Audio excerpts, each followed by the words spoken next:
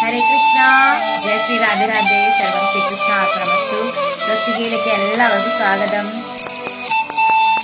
ആരെങ്കിലും ഉണ്ടോ ഹരേ കൃഷ്ണ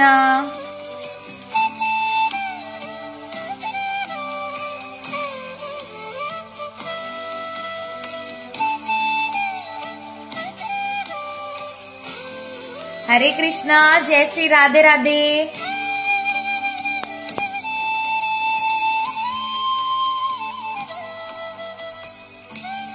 ഹരേ കൃഷ്ണ കുറെ ദിവസമായി ലൈവ് വന്നിട്ട് തിരക്കാണ്. ഭയങ്കര തിരക്കായിരുന്നു. ഞാൻ പറഞ്ഞിരുന്നില്ലേ നിങ്ങളോട്? എനിക്കൊരു എന്റെ ഓഫീസ് ഡ്യൂട്ടിയുടെ ഭാഗമായിട്ട് ഒരു ക്യാമ്പ് ഡ്യൂട്ടി ഉണ്ടായിരുന്നു. അപ്പം നല്ല തിരക്കായിരുന്നു. നല്ല പണിയായിരുന്നു. അപ്പൊ അതുകൊണ്ട് എനിക്ക് വരാനും ഒന്നും പറയാനും ഒന്നും സാധിച്ചില്ല. ഒരു കഥ പോലും പറയാൻ ഇപ്പൊ പറ്റുന്നില്ല. തിരക്കോട് തിരക്കാണ്. വീട്ടിലെത്തിക്കഴിഞ്ഞാലും നിറയെ തിരക്കാണ്.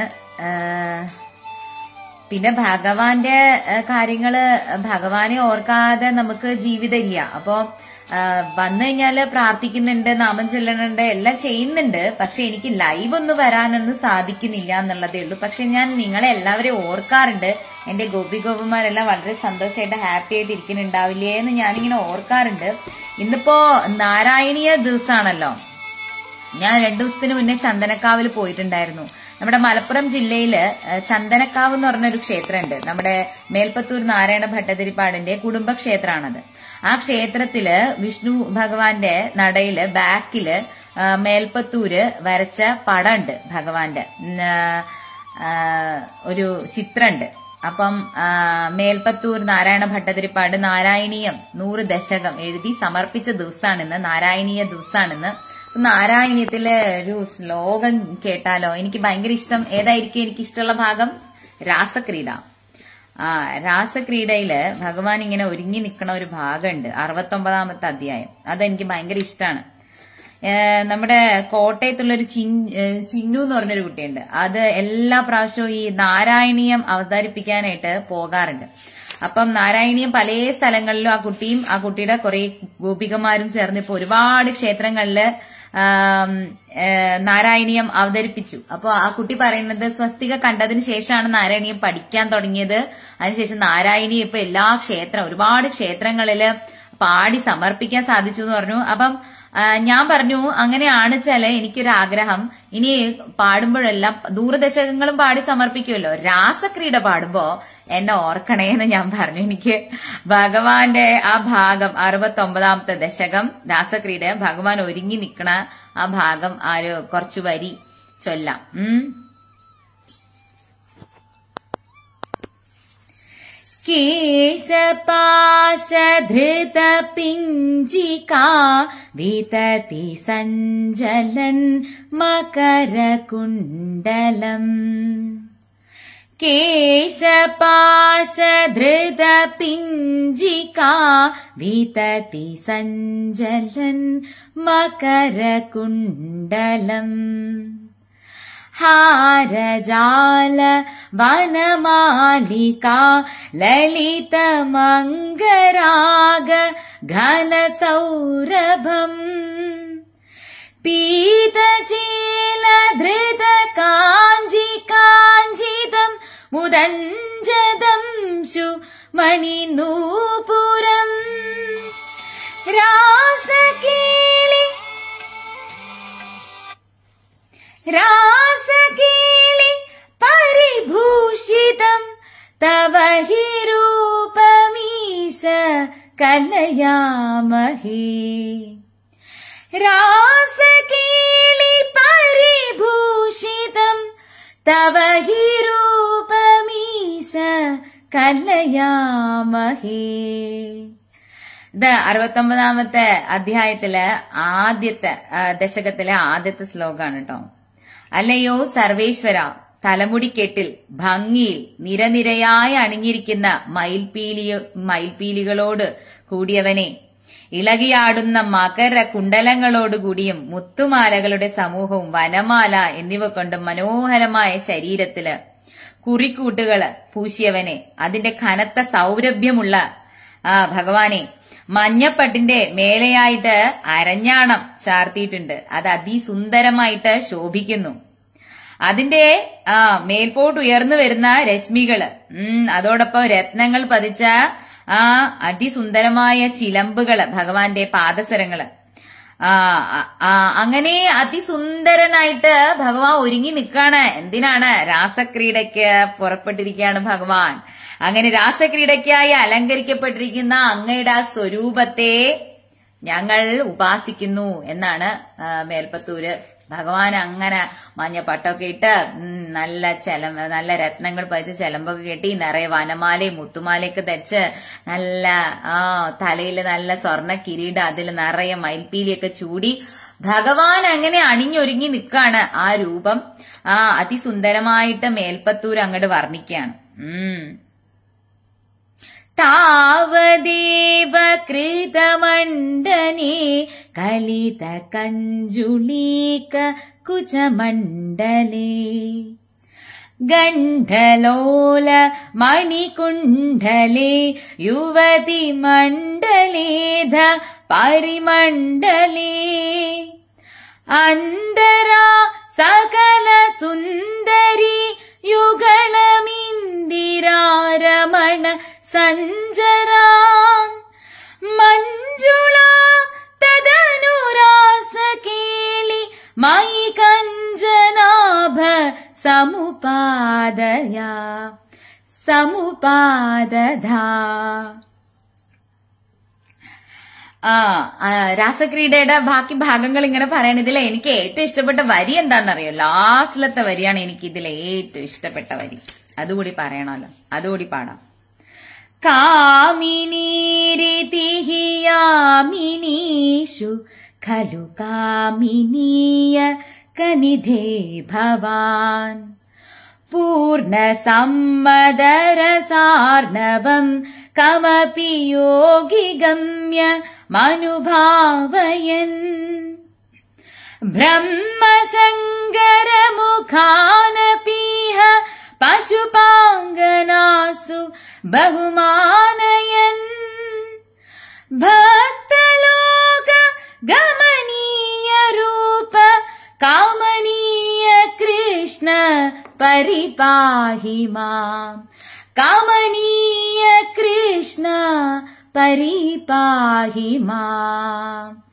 അതായത് പറയണ എന്താന്ന് വെച്ചാൽ എല്ലാവരും കാമിക്കുന്ന കോടി കണ്ടപ്പോ സുന്ദരനാണല്ലോ ഭഗവാൻ. ഉം. എല്ലാവരും കാമിക്കുന്ന അവസ്ഥയ്ക്ക് ഇരിപ്പിടമായവനെ ഭഗവാനെ. ഉം. ഇവിടെ ഓരോ രാത്രിയിലും കാമിനികളായ ഗോപികമാരെ യോഗികൾക്കും ജ്ഞാനികൾക്കും പോലും അപ്രാപ്യമായിട്ടുള്ള ആ പരിപൂർണമായിട്ടുള്ള ആ യോഗം ഭഗവാനായിട്ടുള്ള പരമാത്മ സ്വരൂപനായ ഭഗവാനായിട്ടുള്ള സംയോഗം. അത് യോഗികളും ജ്ഞാനികളും അനേക കൊല്ല തപസ് ചെയ്തിരുന്നാൽ ഒറ്റക്കാലിൽ നിന്നാൽ ഭഗവാൻ വരില്ല.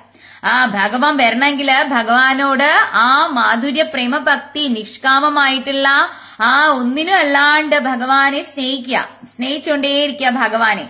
ആ ആ സ്നേഹം ആ സ്നേഹത്തിന്റെ മുന്നിൽ മാത്രമേ ഭഗവാനെ നമുക്ക് കെട്ടിയിടാൻ സാധിക്കുള്ളൂ. ആ സ്നേഹം ഭഗവാൻ കടൽ പോലെ സമുദ്രം പോലെ കൊടുക്കുകയും കൂടി ചെയ്തു. ഗോപികമാർക്ക്. ഗോപികമാർ ആഗ്രഹിക്കുന്ന രീതിയിൽ ഭഗവാൻ ആ സ്നേഹം ഗോപികമാർക്ക് കൊടുത്തു. അവരെ ആഗ്രഹിച്ച പോലെ അവരുടെ കൂടെ നൃത്തമാടി. നൃത്തമാടി കഴിഞ്ഞതിന് ശേഷം എന്താ സംഭവിച്ചത്? സാധാരണ ഗോപികമാര് ചാണകവും വാരി പശുവിനെ മേച്ച് ആരും വില കൊടുത്തില്ല ഗോപികമാർക്ക്. ആരുടെ ഒരു ഒരു വിലയില്ലാണ്ടിരുന്ന ആ ഗോപികമാരെ ബ്രഹ്മാവ് ശിവൻ തുടങ്ങി മുപ്പത്തി മുക്കോടി ദേവി ദേവന്മാര് നമസ്കരിച്ചു എന്നാ പറയണത് ഒന്നുമില്ലാണ്ടിരുന്ന ഗോപികമാര് ഭഗവാൻ ആ ഉയർത്തിയപ്പോ ആ ഭഗവാൻ ആ സ്നേഹം കൊടുത്തപ്പോ ഭഗവാൻ ശ്രദ്ധ കൊടുത്തപ്പോ ഭഗവാൻ അവരുടെ കൂടെ രാസക്രീഡയാടിയപ്പോ ഈ മുപ്പത്തി മുക്കോടി ദേവി ദേവന്മാരും ആ ഗോപികമാരെ നമസ്കരിച്ചു എന്നാണ് പറയുന്നത്. അവർക്ക് അത്രയും ആ അവർ അത്രയും ബഹുമാനം കൊടുത്തു. ഉം അത്രയും ബഹുമാനം ഉള്ളവനാക്കി അപ്പൊ ഭക്തന്മാർക്ക് മാത്രം ചെന്നെത്താവുന്ന ആകാരത്തോട് കൂടിയവനും സുന്ദരനുമായ എന്റെ ഭഗവാനെ കൃഷ്ണ എന്നെ അങ്ങ് രക്ഷിച്ചാലും എന്നാണ് ഈ അവസാനത്തെ വരിയുടെ അർത്ഥം. എനിക്ക് ഭയങ്കര ഇഷ്ടമാണ് രാസക്രീഡ. ഏറ്റവും ഇഷ്ടം ഈ അവസാനത്തെ വരിയുമാണ്. അപ്പൊ ആ അതായത് എന്റെ ലൈഫാണ് ഞാൻ കാണുന്നത്. ഒരു പുല്ലുകൊടിയുടെ വില പോലും ഇല്ല എനിക്ക്. ആ ആ എനിക്ക് പോലും ഭഗവാന്റെ കഥകൾ പറഞ്ഞപ്പോ എനിക്ക് ഒരു വാല്യൂ ഉണ്ടായി. വാല്യൂ സമൂഹത്തിൽ ഒരു വാല്യൂ ഇല്ലാത്ത ഒരു കേവലയായ ഒരു ഒരു ആൾക്ക് പോലും ഭഗവാൻ ആ വാല്യൂ കൊടുക്കുകയാണ് ഭഗവാനെ കുറിച്ച് പറയുമ്പോൾ ഭഗവാൻ സ്നേഹം കൊടുക്കുകയാണ് ആ ഭഗവാൻ ശ്രദ്ധ കൊടുക്കുകയാണ് അതാണ് ആ എന്റെ കണ്ണ ആ എന്റെ എന്താ പറയാ ഭക്തന്മാർക്ക് മാത്രമേ ചെന്നെത്താൻ പറ്റുള്ളൂ. ആ സുന്ദരമായ രൂപത്തിൽ ചെന്നെത്തണമെങ്കിൽ ഭക്തനായി മാറണം. ആ ഭക്തന്മാർക്ക് മാത്രം പ്രാപ്യമായിട്ടുള്ള ആ സ്നേഹത്തിന്റെ ആ സമുദ്രം.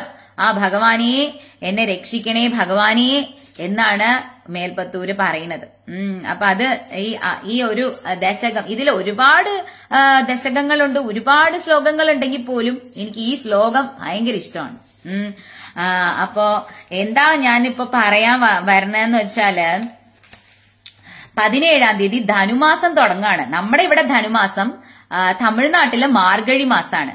അപ്പോ ഭഗവാനെ ഭർത്താവായിട്ട് ലഭിക്കാൻ വേണ്ടിയിട്ട് ഗോപികമാര് വ്രതം അനുഷ്ഠിച്ചിട്ടുണ്ട് കാർത്യായനി വ്രതം. അപ്പൊ ആ വ്രതം ആചരിച്ചതും ധനുമാസായിരുന്നു ഒരു മാർഗഴി മാസായിരുന്നു എന്നാണ് പറയുന്നത്.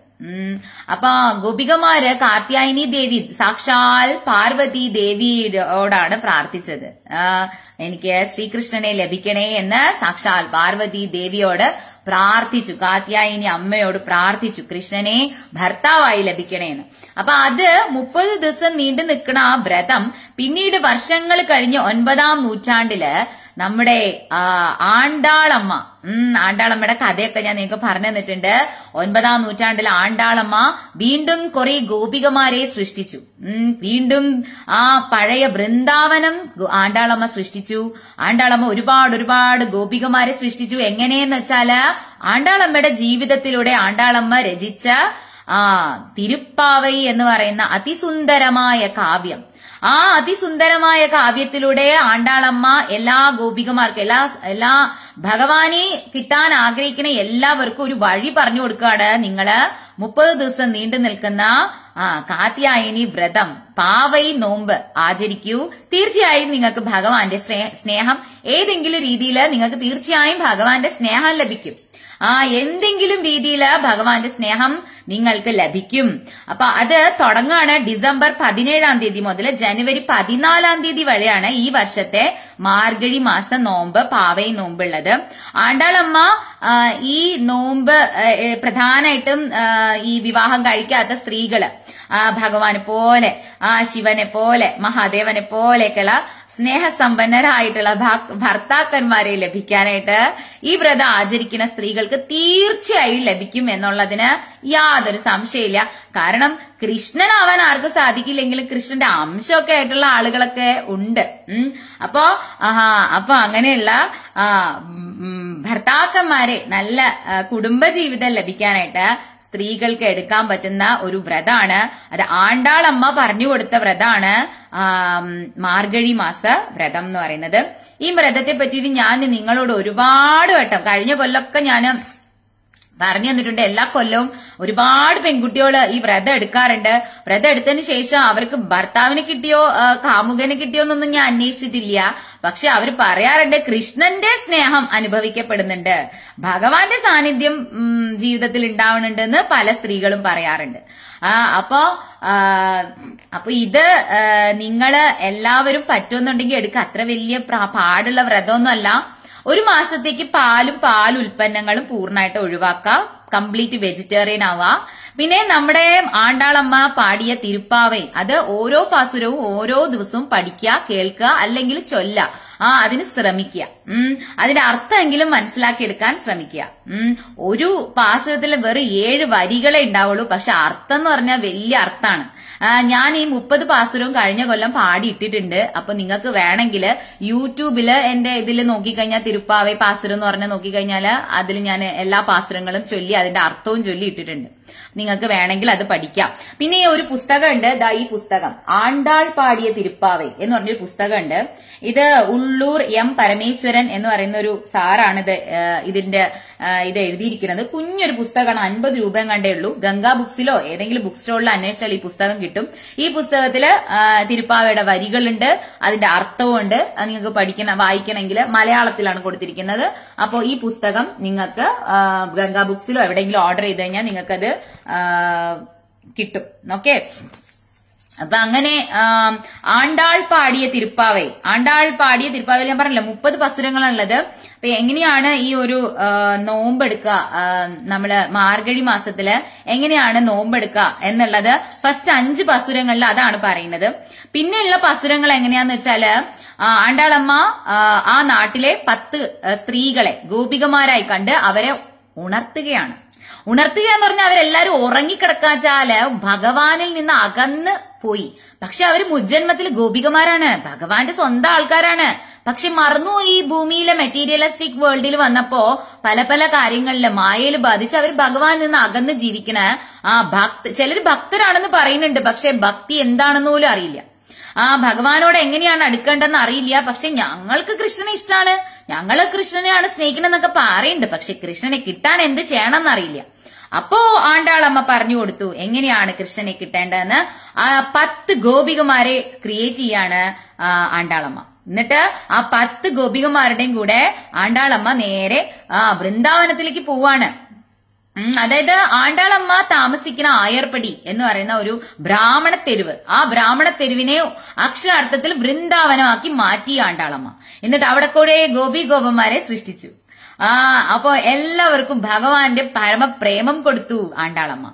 ഒൻപതാം നൂറ്റാണ്ടിൽ ജീവിച്ചിരുന്ന പന്ത്രണ്ട് ആൾവാർമാരിൽ ഒരേ ഒരു സ്ത്രീയാണ് ആണ്ടാൾ. ആണ്ടാളമ്മ ആണ്ടാളമ്മയെ സൂടിക്കൊടുത്ത സൂടർകൊടിയെ എന്നാണ് വിളിക്കുന്നത് ആണ്ടാളമ്മയുടെ അച്ഛൻ.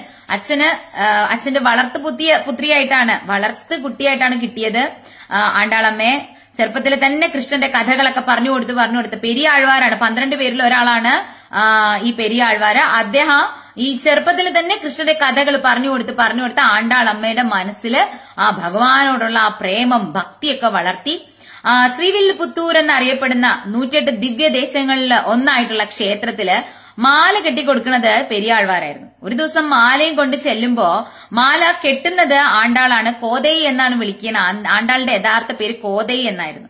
അപ്പോ എന്താ ചെയ്യാച്ചാൽ എപ്പോഴും സ്വപ്നം കാണും കൃഷ്ണനെ വിവാഹം കഴിക്കണായിട്ട്. അപ്പൊ ഒരു ദിവസം മാല കെട്ടിക്കൊണ്ടിരിക്കുന്ന ഇടയിൽ ഒരു ക്യൂരിയോസിറ്റി തോന്നി. ഇപ്പം കൃഷ്ണൻ എന്റെ അടുത്തുണ്ടായിരുന്നെങ്കിൽ ഞാൻ ആ മാല ഭഗവാന് ചാർത്തില്ലായിരുന്നോ? അപ്പൊ എന്റെ കല്യാണം കഴിയില്ലേ? അങ്ങനെ ഭഗവാന് വിവാഹം കഴിക്കുന്ന പോലെ മാല സ്വന്തം കഴുത്തിൽ അങ്ങോട്ട് ചാർത്തി. എന്നിട്ട് കണ്ണാടിയുടെ മുന്നിൽ നിന്ന് നോക്കി. ഉം ഇപ്പൊ ഞാൻ ഭഗവാന്റെ ഭാര്യയായി കഴിഞ്ഞു. പക്ഷേ ആ അച്ഛൻ കണ്ടപ്പോ പെട്ടെന്ന് ഊരി തലമുടി ആകെ ആ മുടിയൊക്കെ പാറി ആ മാലയിൽ വന്ന് വീണു. അച്ഛൻ മാലയും കൊണ്ട് അമ്പലത്തിൽ ചെല്ലപ്പോ പൂജാരി പറഞ്ഞു ഇത് ചൂടിയ മാലയാണോ കൊണ്ടുവരുന്നത്? ഏതോ സ്ത്രീ ചൂടിയ മാലയാണ്. ഇത് ഭഗവാൻ ഇടാൻ പറ്റില്ല എന്ന് പറഞ്ഞു തിരിച്ചു കൊടുത്തു. അപ്പോ ആൾക്ക് കാര്യം മനസ്സിലായി കോതയാണ് ചെയ്തത്. തിരിച്ചു വന്ന് കോതയെ നല്ലോണം ശകാരിച്ചിട്ട് വേഗം പൂക്കൾ പറിച്ചിട്ട് വീണ്ടും മാല കെട്ടി അമ്പലത്തിലേക്ക് ഓടിയപ്പോ പൂജാരി അദ്ദേഹത്തെ കാത്തു നിൽക്കുകയാണ്. അതായത് ഉള്ളിൽ നിന്ന് പൂജാരിക്ക് വെളിപാടുണ്ടാണ്. ഭഗവാൻ പറയാണ് എനിക്ക് പുതിയ മാല വേണ്ട. കോത ചൂടിയ മാല എനിക്ക് തന്നാ മതി. കാരണം എന്റെ എല്ലാം എല്ലാമാണ്. എന്റെ പ്രിയ ഗോപികയാണ്. എന്റെ എല്ലാം എല്ലാമായ കോത ചൂടിയ മാല എനിക്കിനി തന്നാ മതി എന്ന് ഭഗവാൻ പറഞ്ഞു. അങ്ങനെ പിന്നെയും പെരിയാഴ്വാർ തിരിച്ചുപോയി. ആ കോതയോട് മാപ്പ് പറഞ്ഞിട്ട് കോത ചൂടി ആ മാല അവിടെ വലിച്ച് കളഞ്ഞിരുന്നു. അപ്പൊ കോത കരയാണ്. കോത പറയുന്നുണ്ട് കൃഷ്ണ ആ കൃഷ്ണ എന്നെ ഇഷ്ടല്ലല്ലേ കണ്ണ? ആ ഞാൻ ചൂടിയ മാല നിനക്ക് അശുദ്ധായില്ലേ ആ ഞാൻ ഇത്ര എത്രയാ ഭഗവാനെ ഇഷ്ടപ്പെടുന്നത്? എന്നിട്ട് ഞാൻ ചൂടിയ മാല ഭഗവാൻ ചൂടിയപ്പോ അത് വേണ്ട വെച്ചു ഇല്ലേ കണ്ണ? ആ എന്ന് പറഞ്ഞ് കരഞ്ഞോണ്ടിരിക്കുമ്പോഴ അച്ഛ ഓടി വന്നിട്ട് പറഞ്ഞ കോതെ നിന്റെ ആ മാല തന്നെ വേണമെന്ന് പറയാണ് ഭഗവാൻ പറയാണ്. എന്ന് പറഞ്ഞു അപ്പോ കോതിക്കൊന്നും മനസ്സിലായില്ല. ഞാൻ പറയാം. ഉം. ഞാൻ പറയാ. ഞാൻ വന്നിട്ടെല്ലാം പറയാം. എന്ന് പറഞ്ഞ് ഓടിപ്പോയി. ഭഗവാന്റെ അടുത്ത് മാലയും കൊടുത്തിട്ട് തിരിച്ചു വന്നിട്ട് ശ്രീവില്ല് പുത്തൂരിൽ ആ ഭഗവാൻ പിന്നീട് എന്നും കോത ചൂടിയ മാല മാത്രമേ ചൂടിയിട്ടുള്ളൂ എന്നാ പറയുന്നത് ശ്രീരംഗനാഥൻ ഭഗവാൻ. അപ്പോ ആ അച്ഛൻ വന്ന് തിരിച്ചു വന്ന് പറയുന്ന നീ കോതയല്ല. ഇന്ന് മുതല നീ ആണ്ടാളാണ്. ആണ്ടവന് പ്രിയപ്പെട്ടവളാണ് നീ. അതുകൊണ്ട് ഇനി മുതൽ നീ ആണ്ടാൾ എന്ന പേരിൽ അറിയപ്പെടും. ഞാൻ ശ്രീരംഗനാഥ് ഭാഗ അവസാനം ആണ്ടാളമ്മ ഭഗവാനിൽ ലയിച്ചു ചേർന്നു. ആ കഥ ഞാൻ നിങ്ങളോട് പറഞ്ഞു പറഞ്ഞു തന്നിട്ടുണ്ട്. കോതയുടെ വിവാഹം കഴിപ്പിക്കും. അതായത് ഒരു ഇമാജിനറി വിവാഹമാണ്. ഭഗവാൻ ആണ് വിവാഹം കഴിക്കുന്ന രീതിയിൽ. ഭഗവാൻ തന്നെ ആണ്ടാളമ്മയുടെ അച്ഛനോട് പറയാണ് അവളെയും കൊണ്ട് നേരെ ശ്രീരംഗത്തേക്ക് വരിക എന്നിട്ട് എന്നെ എന്നെ- എനിക്ക് കല്യാണം കഴിച്ച് തരുന്ന രീതിയിൽ അങ്ങോട്ട് കല്യാണം കഴിപ്പിക്കുക എന്ന് പറഞ്ഞു. അങ്ങനെ അവിടെ കല്യാണം കഴിപ്പിക്കുന്നു. അടുത്ത് ഭഗവാൻ ഇരിക്കുന്ന പോലെ എല്ലാം താലിയൊക്കെ എടുത്തു കൊടുക്കുന്നു. താലിയൊക്കെ കെട്ടുന്നു. അച്ഛൻ താലി അവിടെയൊക്കെ അങ്ങനെയാണല്ലോ. അച്ഛനാണല്ലോ താലിയൊക്കെ കെട്ടിക്കൊടുത്തിട്ട് കു- ആ, കുട്ടീനെയും കൊണ്ട് നേരെ ശ്രീരംഗനാഥന്റെ അടുത്തേക്ക് പോകുമ്പോ ആണ്ടാളമ്മ ഓടി ശ്രീകോവിലിന്റെ ഉള്ളിൽ കയറുന്നത് മാത്രമേ എല്ലാരും കാണുന്നുള്ളൂ. പിന്നെ എല്ലാവരും വലിയ പ്രകാശാണ് പിന്നെ ആണ്ടാളമ്മയെ ആരും കണ്ടിട്ടില്ല. ഭഗവാന്റെ ഭാര്യയായി. ആ വൈകുണ്ഠാധിപതിയായ ഭഗവാന്റെ ഭാര്യയായി ആ എറ്റേണൽ അബോർഡിലേക്ക് പോയി ആണ്ടാളമ്മ. ഞാൻ ശ്രീരംഗനാഥത്തിൽ ചെന്നപ്പോ എല്ലായിടത്തും ഞാൻ നോക്കിയത് ആണ്ടാളമ്മ എവിടെയെന്നാണ്. കാരണം ശ്രീരംഗനാഥ ക്ഷേത്രം എന്ന് പറയുന്നത് ഇന്ത്യയിലെ ഏറ്റവും ബിഗ്ഗസ്റ്റ് രണ്ടാമത്തെ ഏറ്റവും വലിയ ക്ഷേത്രമാണ്. അത്രയും വലിയ ക്ഷേത്ര നഗരിയാണ് ശ്രീരംഗനാഥ ക്ഷേത്രം എന്ന് പറയുന്നത്. അപ്പൊ അവിടെ നമ്മൾ ചെന്ന് കഴിഞ്ഞാൽ ഒരുപാട് കാണാനുണ്ട്. അപ്പൊ എവിടെയാണ് ഈ ആണ്ടാളമ്മ ഇരിക്കുന്നത്? എവിടെയാണ്? ഞാൻ എല്ലാവരോടും ചോദിക്കുന്നത് ആണ്ടാളമ്മ എവിടെ ആണ്ടാളമ്മ എവിടെ എവിടെയാണ് ആണ്ടാളമ്മ? അപ്പൊ അല്ലാതെ തന്നെ ഭഗവാന്റെ പത്നിയായ ലക്ഷ്മി ദേവിയുടെ ഒരു ക്ഷേത്രം വേറെ തന്നെ ഉണ്ട്. തായാർ എന്ന് പറഞ്ഞിട്ട് വേറൊരു ക്ഷേത്രമുണ്ട്. അപ്പൊ ഞാൻ ആദ്യം വിചാരിച്ച അതാണ് ആണ്ടാളമ്മയുടെ ക്ഷേത്രം അപ്പൊ അതല്ല. അത് ലക്ഷ്മി ദേവിയുടെ ക്ഷേത്രമാണ്. അപ്പൊ നമ്മുടെ ആണ്ടാളെവിടെ അപ്പൊ ഇങ്ങനെ കുറെ അന്വേഷിക്കും. അവസാനം ലാസ്റ്റ് ഇപ്പോ ഈ സങ്കടം വരിക. ഞങ്ങൾ പോവാനായി എല്ലാരും എന്നോട് ദേഷ്യപ്പെടുന്നുണ്ട്. വരണം. ഇനി ഇനി സമയമൊന്നുമില്ല ഇനി ആണ്ടാളൊന്നും ഇല്ല എന്നൊക്കെ പറയട്ടെ പക്ഷെ ഞാൻ പറഞ്ഞു ഞാൻ ആണ്ടാളിനെ കാണാതെ വരില്ല. ആ എന്നിട്ട് ഞാൻ അവരുടെ അടുത്ത് നിന്ന് ഓടിപ്പോയി. എല്ലാവരുടെ അടുത്തും ഞാൻ ചോദിച്ചു എവിടെയായി ആണ്ടാളമ്മയുടെ ക്ഷേത്രം എവിടെ? ഇതിൽ എവിടെയാണ്? ഏത് ക്ഷേത്രമാണ് ആണ്ടാൾ? അപ്പൊ ഒരാൾ എന്നോട് പറഞ്ഞു ഞാൻ കുട്ടിയെ കാണിച്ചു തരാം ആണ്ടാളിനെ കാണിച്ചു തരാം. വാ എന്ന് പറഞ്ഞിട്ട് കൊണ്ടുപോയി. കൊണ്ടുപോയിട്ട് പറഞ്ഞു ഈ വളവ് തിരിഞ്ഞ് അവിടെ ചെന്ന് അത് ആണ്ടാളാണെന്ന് പറഞ്ഞു. എനിക്ക് അപ്പൊ തന്നെ എനിക്ക് കണ്ണെന്നൊക്കെ ഭയങ്കര സങ്കടം വരുന്നു. കാരണം ഞാൻ ഈ കഥ ഞാൻ കുറെ പറഞ്ഞിട്ടുള്ളതാണ്. എനിക്ക് ആണ്ടാളമ്മേനെ കാണാച്ചാൽ എനിക്ക് എന്റെ രാധാറാണിയെ കാണുന്ന പോലെയാണ് ആണ്ടാളമ്മ എന്ന് പറഞ്ഞ.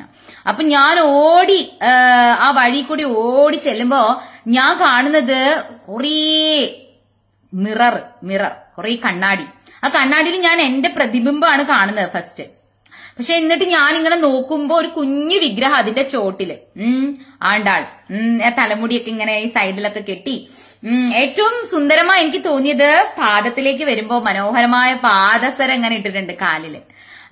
അപ്പൊ അത് അങ്ങനെ ആണ്ടാളമ്മയെ കണ്ട ഒരു അനുഭവം ഞാൻ കുറെ കരഞ്ഞു.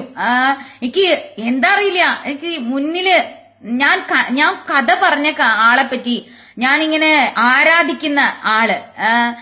നമുക്ക് പല ആളുകൾക്ക് സിനിമാ നടന്മാര് സ്പോർട്സുകാര് അത് ഇതൊക്കെയാണ് ആരാധന. എനിക്ക് ഇതാണ് ആരാധന. ഒമ്പതാ ഒൻപതാം നൂറ്റാണ്ടിൽ ജീവിച്ച അന്നത്തെ കാലത്ത് ഒരുപാട് ഗോപി ഗോപന്മാർക്ക് മാരെ സൃഷ്ടിച്ച് ഭഗവാനെ അത്രമേൽ സ്നേഹിച്ച് ജീവിച്ച് ഭഗവാനോട് ചേർന്ന ഒരു സ്ത്രീരത്നം ആ ആണ്ടാൾ. അപ്പൊ ആ ആണ്ടാളിനെ കാണുമ്പോ എനിക്ക് ഭയങ്കര എന്റെ റോൾ മോഡലാണ്. അപ്പൊ ഞാൻ ഒരുപാട് കരഞ്ഞു ആണ്ടാളമ്മേനെ കണ്ട് എനിക്ക് സന്തോഷായി. അതൊരു വിഗ്രഹമായിട്ട് എനിക്ക് തോന്നിയില്ല. ശരിക്കും ആണ്ടാൾ ആണ്ടാളിനെ കണ്ടു. അപ്പൊ ആ ആണ്ടാൾ സൂടിക്കൊടുത്ത സൂടർകൊടി ഭഗവാന്. അപ്പൊ തിരിച്ചു വന്നിട്ട് നമ്മുടെ പെരിയാൾവാർ പറയും നീ ഇന്നു മുതൽ കോതയല്ല. ആ നീ ഇന്നു മുതൽ ആണ്ടാളാണ്. ആണ്ടവന് പ്രിയപ്പെട്ടവർ സൂടിക്കൊടുത്ത സൂടർകൊടിയേ എന്നാണ് വിളിക്കുന്നത്. ആ ആണ്ടാളമ്മയാണ് ആദ്യമായിട്ട് ഈ മാർഗഴി മാസ വ്രതത്തെ പറ്റിയിട്ട് പറഞ്ഞു കൊടുത്തത്. ഇന്നും നിങ്ങൾ തമിഴ്നാട്ടിൽ ചെന്ന് കഴിഞ്ഞാൽ ഈ മുപ്പത് ദിവസങ്ങൾ ഈ മാർഗഴി മാസത്തിലെ മുപ്പത് ദിവസങ്ങൾ ഏത് ക്ഷേത്രത്തിൽ പോയാലും ആണ്ടാൾ പാടിയ തിരുപ്പാവേ ഭഗവാൻ എല്ലാ ദിവസവും ചൊല്ലിക്കൊടുക്കും എന്നാണ് പറയുന്നത്. പ്രത്യേകിച്ച് ശ്രീരംഗനാഥ ക്ഷേത്രത്തിൽ. ഈ മുപ്പത് പസുരങ്ങളെ എല്ലാ ദിവസവും ചൊല്ലും. അതാണ് ഭഗവാന്റെ ഭക്തയെ അത്രയും മേൽ ഉയർത്തും ഭഗവാൻ. ആ അപ്പോ ആണ്ടാളമ്മ എന്താ ചെയ്തെന്ന് വെച്ചാൽ ഞാൻ പറഞ്ഞില്ലേ പത്ത് പേര് പത്ത് സഖിമാരെ ആദ്യം ഗോപികമാരാക്കി മാറ്റും. എന്നിട്ട് അവരെയും കൊണ്ട് നേരെ ഗോകുലത്തിലേക്ക് പോവാണ്. എന്നിട്ട് ആദ്യം യശോദാമ്മയും ആ അച്ഛനെയും ഭഗവാന്റെ അച്ഛനെയും അമ്മയൊക്കെ ഒന്ന് സോപ്പിട്ടും. ആ സോപ്പിടും അവരെ ഉണർത്തും. എന്നിട്ട് ജ്യേഷ്ഠനായ ബലരാമനെ ഉണർത്തും. ആ ആളുടെ പ്രീതി നേടും. എന്നിട്ട് പിന്നെ ആരെയാ? നാച്ചി എന്താ പറയാ നാപ്പിനെ. നാപ്പിനെ എന്ന് പറഞ്ഞാൽ രാധാറാണിയെയാണ് പറയുന്നത്. അതായത് നമ്മുടെ രാധാറാണിയുടെ സ്ഥാനം ഈ നൂറ്റെട്ട് സോറി നാലായിരം നാലായിരം വരികൾ അടങ്ങിയ ദിവ്യ പ്രബന്ധം ഈ പന്ത്രണ്ട് ആൾവാർമാരും ഭഗവാനെ കുറിച്ച് എഴുതിയിട്ടുണ്ട്. അത് നാലായിരം ശ്ലോകങ്ങൾ അടങ്ങിയ പസുരങ്ങൾ എന്നാണ് അതിന് പറയുന്നത്. ദിവ്യ പ്രബന്ധത്തിലായിട്ടാണല്ലോ അതിലൊരു മുപ്പത് പസുരാണ് ഈ ആണ്ടാളമ്മയുടേത്. അപ്പൊ ഈ ദിവ്യ പ്രബന്ധത്തിൽ രാധാറാണി എന്നെ കുറിച്ച് പ്രതിപാദിക്കുന്നിടത്തെല്ലാം പേര് നാപ്പിനൈ എന്നാണ് പറയുന്നത്. അതായത് ഗോപികയായ ആ രാധാറാണിയുടെ സ്ഥാനം നാപ്പിനയ്ക്കാണ് ദിവ്യ പ്രബന്ധത്തിൽ നാപ്പിനൈ എന്നാണ് ആ രാധാറാണിയെ വിളിക്കുന്നത്. അപ്പോ കൃഷ്ണനെ കിട്ടണമെങ്കിൽ ആദ്യം ആരെ വിളിക്കണം? രാധയെ വിളിക്കണം. രാധ രാധാ രാധാറാണി ഒരാളെ ചൂസ് ചെയ്താലേ ആളെ കൃഷ്ണൻ എടുക്കുള്ളൂ. അപ്പോ ആദ്യം നാപ്പിനെ പോയി ഉണർത്തി ആ അമ്മയുടെ അനുഗ്രഹം മേടിച്ച് കഴിയുമ്പോഴാണ് കൃഷ്ണൻ ഉണർത്തുന്നത് കൃഷ്ണനെ ഉണർത്തിയിട്ട് ഭഗവാൻ അങ്ങനെ നല്ല രസമാണ് ഭഗവാനെ പിടിച്ച് ഉണർത്തിയിട്ട് അവിടെ കസേരയിൽ കൊണ്ടിരുത്തിയിട്ട് കൃഷ്ണ ഞങ്ങൾ പറയുന്ന കേക്ക് കൃഷ്ണ. ആ ഉറങ്ങാതെ ഞങ്ങൾ പറയണേ നല്ല രസമാണ് പാസുരം. അത് നിങ്ങൾ കേട്ടു നോക്കുക അതിന്റെ എക്സ്പ്ലനേഷൻ ഞാൻ കൊടുത്തിട്ടുണ്ട്. അപ്പൊ ഭഗവാൻ ഇങ്ങനെ ഇരുന്നിട്ട് ആ പറ കേക്കട്ടെ. ആ എന്താ നിങ്ങൾക്ക് വേണ്ടത്? ആ എന്താ വേണ്ട? അപ്പൊ പറയും ഞങ്ങൾക്ക് ഒന്നും വേണ്ട. ആ ഞങ്ങൾക്ക് മെറ്റീരിയലിസ്റ്റിക് ആയിട്ടുള്ള മറ്റേ ഇത് സമ്പത്ത് അത് സൗന്ദര്യം അത് ഇത് ഒന്നും ഞങ്ങൾക്ക് വേണ്ട. ഭഗവാനെ വേണം. ഭഗവാന്റെ സ്നേഹമാണ് വേണ്ടത്. ഭഗവാന്റെ ശ്രദ്ധ ഞങ്ങൾക്ക് വേണം. ഇനി എത്ര ജന്മം എടുത്താലും ഗോപികുമാർ പറയുന്ന ഇതാണ് ഇനി എത്ര ജന്മങ്ങൾ ഭഗവാൻ തന്നാലും ഭഗവാനെ മറക്കാൻ പാടില്ല. ഭഗവാനെ മറന്നിട്ട് ഒരു ജീവിതം ഉണ്ടാവാനും പാടില്ല. ആ ഓർമ്മ ഉണ്ടാവണം. ആ ഞങ്ങൾക്ക് മോക്ഷമൊന്നും വേണ്ട. ആ ഞങ്ങൾ ഇനി അടുത്ത ജന്മവും ജനിപ്പിച്ച് ഭഗവാന്റെ കാര്യങ്ങൾ പറയുക ഭഗവാന്റെ കഥകൾ മറ്റുള്ളവർക്ക് പറഞ്ഞു കൊടുക്കുക ഒക്കെ ചെയ്യിപ്പിച്ചോ? ഞങ്ങൾക്ക് അതൊന്നും ആ കുഴപ്പമില്ല ഇനി അടുത്ത ജന്മം എടുത്ത് തന്നാലും കുഴപ്പമില്ല പക്ഷേ ഞങ്ങൾക്ക് മറ്റൊരു കാര്യങ്ങളോടും വലിയ ആസക്തി ഉണ്ടാകരുത്. ഭഗവാന് മറന്നിട്ട് ഒരു ജീവിതം ഉണ്ടാവരുത്. ഇതാണ് ആ ഗോപികമാര് എന്താ പറയാ ആണ്ടാളമ്മ ലാസ്റ്റ് ചോദിച്ചത്. മോക്ഷം കൂടി വേണ്ട എന്നാണ് ആണ്ടാളമ്മ പറഞ്ഞത്. ഭഗവാന് മാത്രം മതി. ഭഗവാന്റെ സ്നേഹം മാത്രം മതി. വേറെ ഒന്നും വേണ്ട എന്നാണ് ആണ്ടാളമ്മ പറഞ്ഞത്. ആ ആണ്ടാളമ്മ ദാ ഇപ്പോഴും ആ ആ ആണ്ടാളമ്മ ആ തുടങ്ങി വെച്ച കാര്യം പറയാൻ എനിക്കൊരു നിയോഗം.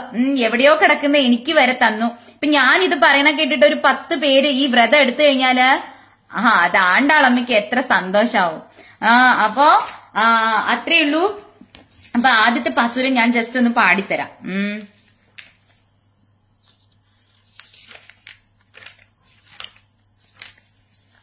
അപ്പൊ ഈ ഡിസംബർ പതിനേഴ് മുതൽ ജനുവരി പതിനാല് വരെയാണ് മാർഗഴി മാസ വ്രതം പാവൈ നോമ്പ് പാവൈ എന്ന് പറഞ്ഞാൽ പെണ്ണ് എന്നാണ് അർത്ഥം പെണ്ണ് കന്യകമാര് കന്യകമാർ എടുക്കുന്ന വ്രതം അല്ലെങ്കിൽ പെൺകുട്ടികൾ എടുക്കുന്ന വ്രതം ആ, എന്ന് എന്നുള്ളതാണ് അതിന്റെ അർത്ഥം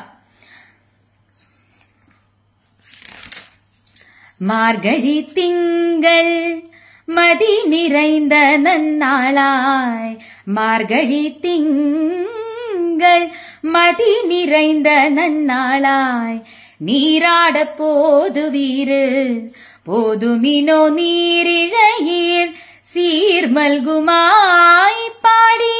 செல்வ சிறுமீர்கள் சீர்மல்குமாய் பாடி. செல்வ சீர்மு சிறுமீர்கள் கூர்வல் கொழுந்தோழிலன் நந்தகோபன் குமரன். ஏராந்த கண்ணி யசோத இளம் சிங்கம் கார்மேனி செங்கண் கதர்மதியம் போல் முகத்தான் நாராயணனே நமக்கே பறை தருவான் நாராயணனே நமக்கே பறை தருவான். பாரோ படிந்தேலொரெம்பாவாய். பாரோர் புகழ்ந்தேன் படிந்தேலொரெம்பாவாய். மார்கழி திங்கள் மதி நிறைந்த நன்னாளாய். மார்கழி திங்கள் மதி நிறைந்த நன்னாளாய். ഇതാണ് ഫസ്റ്റ് പസുരം ഓരോ പസുരത്തിനും ഓരോരോ ട്യൂണാണ് കേട്ടോ ഞാൻ എല്ലാ പാസുരവും പാടിയിട്ടിട്ടുണ്ട്. കേൾക്കുക പറ്റുന്നുണ്ടെങ്കിൽ കേൾക്കുക പഠിക്കുക നിങ്ങൾ പാട്ടൊക്കെ പാടാം എനിക്ക് ഞാൻ പാടിയതൊന്നും ശരിയായിട്ടില്ല കേട്ടോ എനിക്ക് പാട്ടൊന്നും അറിയില്ല. രാഗം അറിയില്ല താളം അറിയില്ല ശ്രുതി അറിയില്ല ഒന്നും എനിക്കറിയില്ല. ഞാൻ ചുമ്മാ പാടുന്നുള്ളേ ഉള്ളൂ. പാട്ടറിയാന്നുള്ളവര് പറ്റുന്നുണ്ടെങ്കിൽ ഇത് അറിവുള്ളവരുടെ അടുത്തുനിന്ന്. കാരണം തിരുപ്പാവൈ പാസുരം തേർട്ടി എന്ന് പറഞ്ഞ് അടിച്ചു കൊടുത്തു കഴിഞ്ഞാൽ വളരെ പ്രശസ്തരായിട്ടുള്ള ഒരുപാട് പേര് എനിക്ക് തോന്നുന്നു എം എസ് സുബ്ബലക്ഷ്മി അമ്മ വരെയും മുപ്പത് പാസുരങ്ങളും ചൊല്ലിയിട്ടിട്ടുണ്ട്. അപ്പൊ അവരുടേതൊക്കെ പഠിക്കുക ഒന്നും പാട്ടിനെ പറ്റി ഒന്നും അറിയാത്തവര് എന്നെ പോലുള്ള സാധാരണക്കാരുടേത് കേട്ട് പഠിക്കുക ആ ഓക്കെ. അപ്പൊ അങ്ങനെ. അപ്പൊ എല്ലാവരും മാർഗഴി വ്രതം എടുക്കുക എല്ലാവർക്കും ഭഗവാന്റെയും നാപ്പിനയുടെയും രാധാറാണിയുടെയും അനുഗ്രഹം ഉണ്ടാവട്ടെ. പിന്നെ പറയാനുള്ളത് ആ വ്രതം എടുക്കുമ്പോ എന്തൊക്കെ കാര്യങ്ങളാ ശ്രദ്ധിക്കേണ്ടത്? പഴയ വീഡിയോസ് ഒരുപാടുണ്ട്. ഈ മുപ്പത് പസുരങ്ങൾ കേൾക്കുമ്പോ തന്നെ ആദ്യത്തെ അഞ്ച് പസുരത്തിൽ തന്നെ ഞാൻ പറയുന്നുണ്ട് എങ്ങനെയാ വ്രതം എടുക്കേണ്ടെന്ന് ഈ വ്രതം എടുക്കുമ്പോ കംപ്ലീറ്റ് വെജിറ്റേറിയൻ ആവുക രാവിലെ എണീക്കുക സൂര്യോദയത്തിന് മുന്നേ കുളിക്കുക നാമം ജപിക്കുക വിളക്കെത്തിക്കുക ഭഗവാനെ പ്രാർത്ഥിക്കുക നാമം ചൊല്ലുക പുസ്തകങ്ങൾ വായിക്കുക ആ പിന്നെ ഞാൻ പറഞ്ഞില്ലേ ഒരു മാസത്തേക്ക് പാലും പാൽ ഉൽപ്പന്നങ്ങളും വർജിക്കുക അങ്ങനെയൊക്കെയാണ് വെറുതെ പറയാണ്. അറിയില്ല. സത്യമായിട്ടും അറിയില്ലടോ. ആ എങ്ങനെയൊക്കെ ഒപ്പിക്കുന്നതാണ്. ഭഗവാന്റെ കാരുണ്യം. അല്ലാതെ നമുക്ക് എന്താ അറിയാന്നുള്ളത്? നമുക്കൊന്നും അറിയില്ല. ആ അപ്പോ എല്ലാവർക്കും ഭഗവാന്റെ രാധാറാണിയുടെയും അനുഗ്രഹം ഉണ്ടാവട്ടെ. സർവം ശ്രീകൃഷ്ണ അർപ്പണമസ്തു. ജയ ശ്രീ രാധേ രാധേ. ആ ഒരു കാര്യം കൂടി പറയാനുണ്ട്. അയ്യോ മറന്നുപോയി. എന്നും പറയാനുണ്ടോന്ന് വിചാരിക്കും മറന്നുപോയി. ഈ ഇടയായിട്ട് ഞാൻ ഒരു അമ്പലത്തിൽ പോയി. ഒരു റീസെന്റ് ഞാനൊരു അമ്പലത്തിൽ പോയി. ആ അമ്പലത്തിൽ എന്നെ ക്ഷണിച്ചിട്ടാ പോയത്. അവിടെ അഖണ്ഡ നാമജപ യജ്ഞം ഉണ്ടായപ്പോ ക്ഷണിച്ചിട്ടാ പോയത്. ഇവിടെ അടുത്ത് താനാളൂർ എന്ന് പറഞ്ഞൊരു സ്ഥലത്താണ്. താനാളൂർ ശ്രീ നരസിംഹസ്വാമി ക്ഷേത്രം. ഉം അതാണ് ആ ക്ഷേത്രത്തിന്റെ പേര്. ആ ക്ഷേത്രത്തെ കുറിച്ച് പറയുകയാണെങ്കിൽ ഏകദേശം ഗുരുവായൂർ ക്ഷേത്രത്തോളം തന്നെ പഴക്കമുള്ള ക്ഷേത്രമാണ്. പക്ഷേ ആ ക്ഷേത്രത്തിന് അധികം പ്രശസ്തിയോ ഒന്നുമില്ല. നരസിംഹസ്വാമിയാണ് നമ്മുടെ ആ തമ്പ്രാന്റെ സിംഗം നമ്മുടെ പ്രിയപ്പെട്ട ആളാണ് നരസിംഹമൂർത്തി. ഇപ്പൊ എനിക്കിപ്പോ കണ്ണ് ഭഗവാൻ എന്ന് പറയുമ്പോൾ ശ്രീകൃഷ്ണൻ എന്നുള്ളതിനേക്കാളും എനിക്ക് ഏറ്റവും ഇഷ്ടം നരസിംഹമൂർത്തിയാണ് എനിക്കിഷ്ടം. ചെഞ്ചുലക്ഷ്മിയുടെ ആ ഒരു ചെഞ്ചുലക്ഷ്മിയെ വിവാഹം കഴിച്ച ആ ഭഗവാന്റെ ആ കാര്യങ്ങൾ അഹോബിലത്തിൽ പോയിട്ട് ഞാൻ കണ്ട പിന്നെ എനിക്ക് നരസിംഹമൂർത്തി എന്ന് പറയുമ്പോൾ ഭയങ്കര ഇഷ്ടമാണ് ആ ഭക്തന് വേണ്ടി എന്തും ചെയ്യണം ഭഗവാൻ. ഭക്തനെ ആരെങ്കിലും ദ്രോഹിച്ചു കഴിഞ്ഞാൽ ദേഷ്യപ്പെടുന്ന ആൾ. ആ എനിക്ക് ഭയങ്കര ഇഷ്ടമാണ് നരസിംഹമൂർത്തി എന്ന് കേൾക്കുമ്പോൾ നമ്മൾ ആ ഉഗ്രരൂപാണ്. ആ കൊടലൊക്കെ വലിച്ചു കീറിയ അങ്ങനെ അല്ല. സത്യം പറഞ്ഞാൽ ഭഗവാന്റെ അവതാരങ്ങളിൽ ഏറ്റവും സ്വീറ്റ് ആയിട്ടുള്ള ഏറ്റവും ഏറ്റവും സ്നേഹമുള്ള ഏറ്റവും കാരുണ്യമുള്ള എന്താ പറയാ കൃഷ്ണനെക്കാളും എനിക്ക് ഭയങ്കര ഇഷ്ടമാണ് നരസിംഹമൂർത്തിയെ. എനിക്ക് ഭയങ്കര ഇഷ്ടമാണ് നരസിംഹമൂർത്തിയെ. എന്തെങ്കിലും ഒരു വിഷമം ഉണ്ടെങ്കിൽ ഭഗവാനോട് പറഞ്ഞു കഴിഞ്ഞാൽ അപ്പോ ക്ലിയർ ചെയ്യും ആൾ. അതാണ് നരസിംഹമൂർത്തി. അപ്പൊ എനിക്ക് ഭയങ്കര ഇഷ്ടമാണ് നരസിംഹമൂർത്തിയെ എനിക്ക് കൃഷ്ണൻ ആ കോടി കന്ദർഭ സുന്ദരനായിട്ട് ആ ത്രിഭംഗരുഗത്ത് നിൽക്കുന്ന ഭഗവാനേക്കാളും അങ്ങനെ നരസ കുറച്ച് പരിക്കനായിട്ട് റൂഡായിട്ട് നിൽക്കണ ആ ചെഞ്ചുലക്ഷ്മിക്ക് ഇഷ്ടമുള്ള ആ ഭഗവാനില്ലേ? അപ്പൊ ഞാൻ ചെഞ്ചുലക്ഷ്മി പോലെ ആയിപ്പോവും.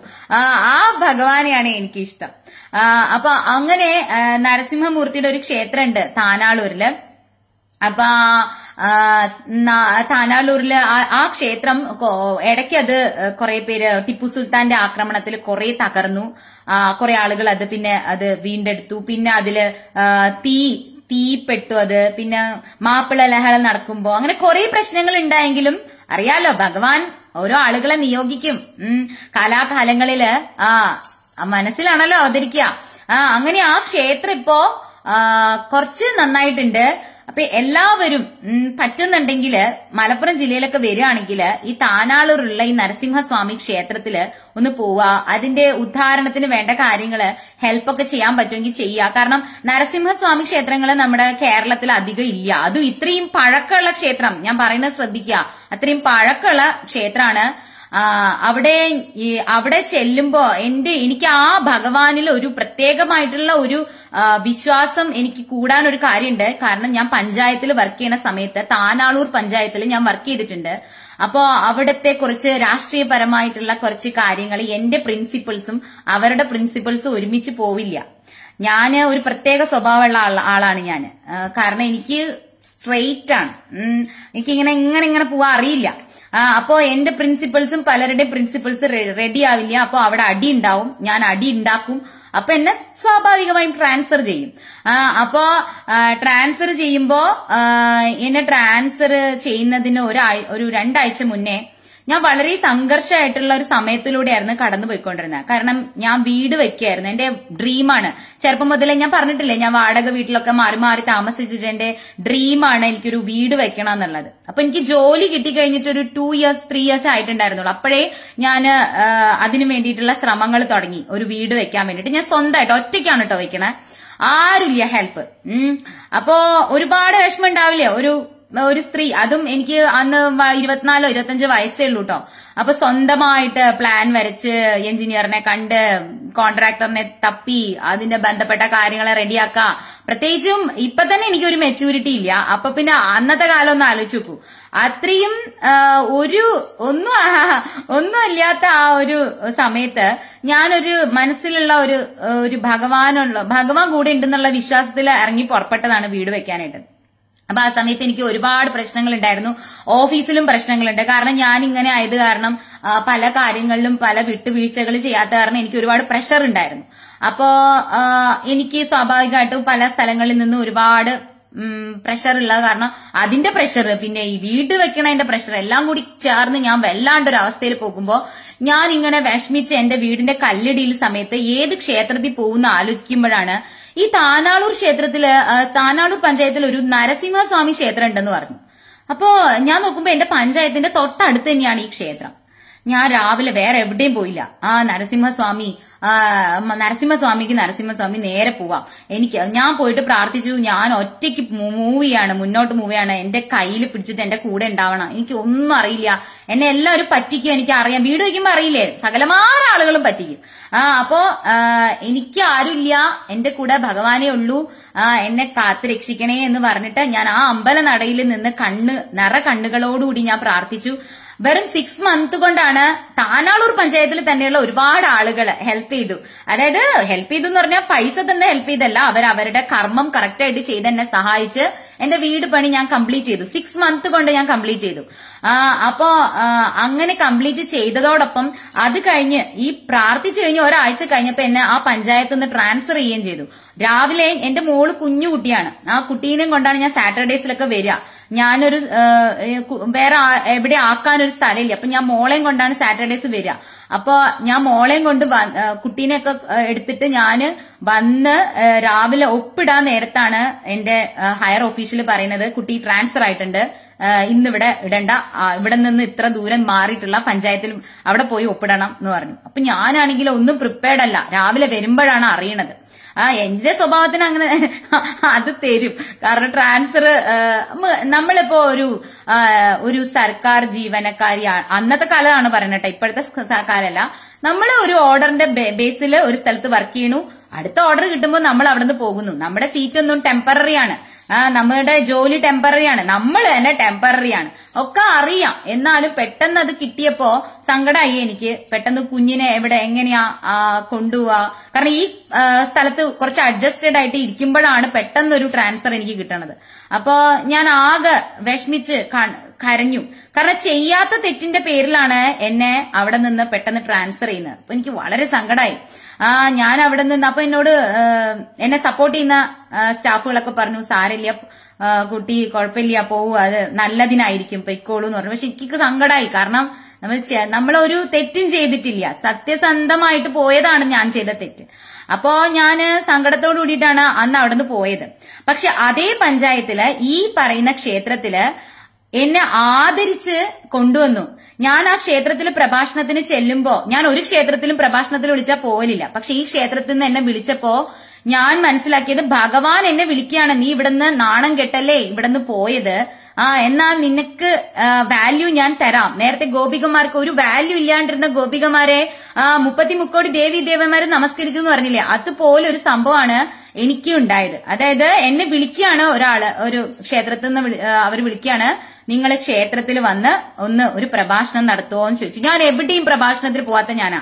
ഞാൻ പറഞ്ഞു ഞാൻ വരും. താനാളൂർ പഞ്ചായത്തിലെ ആ നരസിംഹസ്വാമി ക്ഷേത്രത്തിലല്ലേ തീർച്ചയായിട്ടും ഞാൻ വരും. ആ എന്ന് പറഞ്ഞിട്ട് ഞാൻ അവിടെ പോയി. അവിടെ എന്താ പറയാ ഞാൻ തുളസിമാലയിട്ട് താളം പിടിച്ച് കുറെ ഗോപികമാര് നിറ കുംഭമൊക്കെ തന്നെനിക്ക് ഒരു ദേവി പോലെയാണ് അവർ സ്വീകരിച്ചത്. എനിക്ക് എന്റെ കണ്ണ് നിറഞ്ഞു. ഭഗവാൻ ഇങ്ങോട്ട് തിരിച്ചു വിളിച്ചിട്ട് ആദരിച്ച പോലെയാണ് എനിക്ക് തോന്നിയത്. കാരണം അത്രയും ഞാൻ കരഞ്ഞിട്ടാണ് ഒരു പാൾ വസ്തുവിന്റെ വില പോലും ഇല്ലാണ്ട് അവിടെ നിന്ന് ഞാൻ പോയി. ആ പഞ്ചായത്തിന് വേണ്ടി ഞാൻ ഒരുപാട് കഷ്ടപ്പെട്ട് ഒരുപാട് ആളുകളെ ഹെൽപ്പ് ചെയ്തിട്ടുണ്ട് ഞാൻ എന്നിട്ട് ഒരു പാൾ വസ്തുവിന്റെ പുല്ലിന്റെ കൂടി വിലയില്ലാണ്ട് അവിടെ നിന്ന് ഞാൻ ഇറങ്ങിപ്പോയി. ഉം. അതേ സ്ഥലത്തുള്ള ഭഗവാന്റെ അടുത്ത് എന്നെ വിളിച്ച് ആദരിച്ചപ്പോ എനിക്ക് മനസ്സിലായി അതെന്താണ് ആ പവർ എന്ന് മനസ്സിലായി. നമ്മൾ കുറച്ചു കാലം ഒന്ന് ക്ഷ- ക്ഷമയോടുകൂടി വെയിറ്റ് ചെയ്യുക. ഇതൊക്കെ നടന്നിട്ട് എട്ട് ഒമ്പത് വർഷമായിട്ടോ ആ അപ്പോ കുറച്ച് കാലം ഒന്ന് ഒമ്പത് വർഷം. ചിലപ്പോ വെയിറ്റ് ചെയ്യണമായിരിക്കും. ചിലപ്പോ എന്റെ ഉള്ളിലുള്ള ആ അഹം എന്നുള്ള ബോധമൊക്കെ പോണം. ഞാനും മനസ്സിലാക്കണം കുറെ കാര്യങ്ങൾ അപ്പൊ അപ്പോഴേ ഭഗവാൻ കണ്ണു തുറക്കുള്ളൂ. അപ്പൊ ഭഗവാൻ കണ്ണു തുറന്നു. ഭഗവാൻ കണ്ണു തുറന്നു എന്നെ ആദരിച്ച് ഞാൻ അവിടെ കൂടിയിരുന്നവരോടൊക്കെ ഞാൻ ഈ കാര്യം പറയുകയും ചെയ്തു കേട്ടോ ഇതിലും വലിയൊരു അനുഭവം ഈ ക്ഷേത്രത്തെ കുറിച്ച് എനിക്ക് പറയാനില്ല എന്ന് തന്നെയാണ് ഞാൻ പറഞ്ഞത്. അത്രയും പവർഫുൾ ആണ് താനാളൂർ നരസിംഹസ്വാമി. അത്ര പവർഫുൾ ആണ് എന്റെ അനുഭവം ഇതാണ്. ഇതിലും മേലെ എനിക്കിനി ഒന്നും പറയാനില്ല എന്ന് പറഞ്ഞിട്ടാണ് ഞാൻ പറഞ്ഞത്. അത് നിങ്ങൾ സാധിക്കുമെങ്കിൽ താനാളൂർ ക്ഷേത്രത്തിൽ നരസിംഹസ്വാമി ക്ഷേത്രത്തിൽ പോവാ. നല്ല ക്ഷേത്രമാണ് നല്ല ഭംഗിയുള്ള താമരക്കുളം ഉണ്ട് നല്ല ഭംഗിയുള്ള കുളമാണ് നല്ല അറ്റ്മോസ്ഫിയർ ഉള്ള ക്ഷേത്രമാണ്. ഭയങ്കര പഴക്കമുള്ള ക്ഷേത്രമാണ്. എനിക്ക് തോന്നുന്നു ഗുരുവായൂർ ക്ഷേത്രത്തോളം പഴക്കമുള്ള ക്ഷേത്രമാണ്. പക്ഷേ എന്ത് ചെയ്യാം? ആ അത് കാലഹരണപ്പെട്ടിരിക്കുകയാണ്. അപ്പൊ അതിനെ ഉദ്ധരിക്കാനും അതിനെ പ്രശസ്തിയുടെ കുടുമുടിയിൽ എത്തിക്കാനും എനിക്ക് ഒരു കാര്യം എന്റെ വാക്കുകളിലൂടെ പറയാൻ ഭഗവാൻ ഒരു അവസരം തന്നത് ഞാൻ ഇവിടെ ഉപയോഗിച്ചു എന്നുള്ളതേ ഉള്ളൂ. ഇനി വേറൊരു കാര്യം കൂടെ പറയാം. അന്ന് എനിക്ക് ഏതൊക്കെ ആളുകളുടെ ഭാഗത്തുനിന്ന് എന്തൊക്കെ ദ്രോഹം ഉണ്ടായിട്ടുണ്ടോ എനിക്ക് അവരോടൊന്നും ഒരു പരാതിയും പരിഭവം ഇല്ല. അവരൊക്കെ ഇപ്പോഴും എന്നെ കാണുമ്പോൾ വളരെ സന്തോഷത്തോടു കൂടിയിട്ട് ആ എന്നെ ഇപ്പൊ ഒരുപാട് റെസ്പെക്ട് അവരൊക്കെ തരുന്നുണ്ട്. എന്നെ അന്ന് വിഷമിപ്പിച്ചവര് പോലും വളരെ സ്നേഹമാണ്. ആ എനിക്ക് അവരോട് കാരണം അവരൊക്കെ അങ്ങനെ പെരുമാറിയ കൊണ്ടല്ലേ സ്വസ്തിക ഉണ്ടായത്. കാരണം ഭഗവാൻ ഇങ്ങനെ നമ്മളെ ഇങ്ങനെ ഇങ്ങനെ എന്താ പറയാ നല്ല ഒരു ഓർണമെന്റ് അല്ലെങ്കിൽ ഭഗവാന്റെ ഓടക്കുഴലായി മാറണമെങ്കിൽ ഭഗവാൻ എന്താ ചെയ്തത്? അതിനെ തോളയിട്ട് തോളയിട്ട് തോളയിട്ട് വേദനിപ്പിച്ച് വേദനിപ്പിച്ചിട്ടാണ് അത് മനോഹരായ ഓടക്കുഴലായി മാറിയത് ഇല്ലേ? അപ്പൊ എനിക്ക് എന്റെ ജീവിതത്തിൽ എന്തൊക്കെ പ്രയാസം ആരുടെ അടുത്ത് നിന്നൊക്കെ ഉണ്ടായോ? അവരോടൊന്നും എനിക്ക് ഒരു പരാതിയില്ല അവരോടൊക്കെ എനിക്ക് സ്നേഹമുള്ളൂ എനിക്ക് നന്ദി മാത്രമേ ഉള്ളൂ. എനിക്ക് കടപ്പാട് മാത്രമേ ഉള്ളൂ. കാരണം എന്താ വെച്ചാൽ അതുകൊണ്ടല്ലേ എനിക്ക് ഇങ്ങനെ ഭഗവാനെ അറിയാൻ സാധിച്ചത് ഭഗവാനെ കുറിച്ച് പറയാൻ ഭഗവാന്റെ അനുഭവങ്ങളായിട്ട് അത് മറ്റുള്ളവർക്ക് പ്രചോദനമായിട്ട് സംസാരിക്കാൻ സാധിക്കുന്നത്. അപ്പൊ എനിക്ക് ആരോടും ഒരു പരാതിയില്ല എനിക്ക് ഒരു വിഷമമില്ല എന്റെ കഴിഞ്ഞുപോയ ജീവിതത്തിൽ എന്തൊക്കെ എനിക്ക് ബുദ്ധിമുട്ടുണ്ടായിട്ടുണ്ടോ അതൊന്നും എനിക്ക് ഒരു പ്രയാസമില്ല. അതൊക്കെ എന്നെ വളരെ ശക്തിയായിട്ടുള്ള ഒരു ബോൾഡാക്കി മാറ്റാണ് ചെയ്തത്. എനിക്ക് വളരെ പ്രൗഡാണ്. എന്നെ പറ്റി തന്നെ ഞാൻ ആലോചിക്കുമ്പോൾ ഐ ലവ് മൈസെൽഫ് നമ്മൾ നമ്മളെ സ്നേഹിക്കണ്ടേ? എന്നാലല്ലേ നമുക്ക് മറ്റുള്ളവരെ സ്നേഹിക്കാൻ പറ്റുള്ളൂ. So I am very much proud of myself I love myself അതാണ് എനിക്ക് നിങ്ങളോടും പറയാനുള്ളത്. നിങ്ങൾ ആദ്യം നിങ്ങളെ സ്നേഹിക്കണം. നിങ്ങൾ നിങ്ങളെ വളരെ അത് സെൽഫിഷ്നെസ് അല്ല. നിങ്ങളുടെ സൗന്ദര്യത്തെയോ അതിനെ അല്ല നിങ്ങൾ സ്നേഹിക്കേണ്ടത്. നിങ്ങളുടെ ഉള്ളിലുണ്ട് ഒരു പവർ ഉണ്ട്. ദേവിടെ ചൈതന്യം നിങ്ങളുടെ ഉള്ളിലുണ്ട്. ആ ചൈതന്യത്തെ നിങ്ങൾ സ്നേഹിക്കുക. അപ്പൊ അതിങ്ങനെ പവർഫുൾ ആയി പവർഫുൾ ആയി വരും. അപ്പൊ നിങ്ങൾക്ക് വേറെ ഒന്നിന്റെയും ഒരു എയ്ഡ് വേണ്ട. നിങ്ങൾക്ക് നിങ്ങൾക്ക് സ്വയം കറക്റ്റ് ചെയ്യാനും സ്വയം നിങ്ങൾക്ക് മൂവ് ചെയ്യാനും നിങ്ങൾക്ക് ഒറ്റയ്ക്ക് വേണമെങ്കിലും മൂവ് ചെയ്യാം. വേറെ ആരും. ഇപ്പൊ ഞാൻ ഒക്കെ പറഞ്ഞു തരുന്നു. എന്റെ ഭാഗത്തുനിന്ന് ഒരു മിസ്റ്റേക്ക് ഉണ്ടായാൽ മതി. ഈ കണ്ട ആളുകൾ മുഴുവനും നമ്മളെ മോശം പറയും. അതുകൊണ്ട് തന്നെ ഞാൻ ഈ ഫെയിമിലോ ഇതിലോ ഒന്നും ഒന്നും വിശ്വസിക്കുന്നില്ല. ഐ ലവ് മൈസെൽഫ് ഞാൻ എന്നെ സ്നേഹിക്കുന്നുണ്ട്. എനിക്ക് ഞാൻ ഭഗവാന്റെ മുന്നിൽ ആണ്. എനിക്ക് വേറെ ആരെയും ബോധിപ്പിക്കേണ്ട കാര്യമില്ല. ആ അപ്പോ അത്രേ ഉള്ളൂ. ആ, എല്ലാവർക്കും ഭഗവാന്റെയും രാധാറാണിയുടെയും അനുഗ്രഹം ഉണ്ടാവട്ടെ. സർവം ശ്രീ രാധാകൃഷ്ണ അർപ്പണമസ്തു. ജയ ശ്രീ രാധേ രാധേ.